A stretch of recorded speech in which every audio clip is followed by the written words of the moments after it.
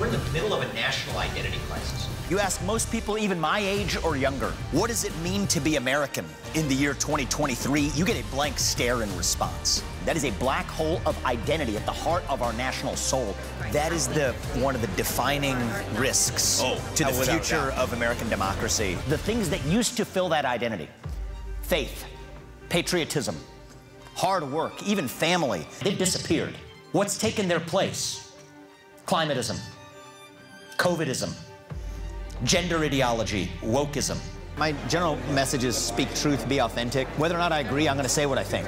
And so I think people will know that about me. We have to have purpose as citizens. We got to go upstream and fill that void. Fill that void with a vision of American national identity.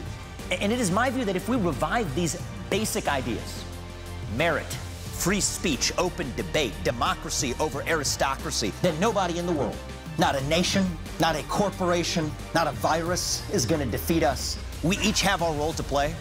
The President of the United States is not going to be in a position to alone drive a national revival top down. It's not for the people who are in the halls of Washington, D.C. or the political Twitterverse. It is for people who actually have things to do in this country, things to create, things to make a life for themselves and goods and services for other people but who are affected inadvertently by people who we put in positions of power. You all are the warriors on the front line to deliver that.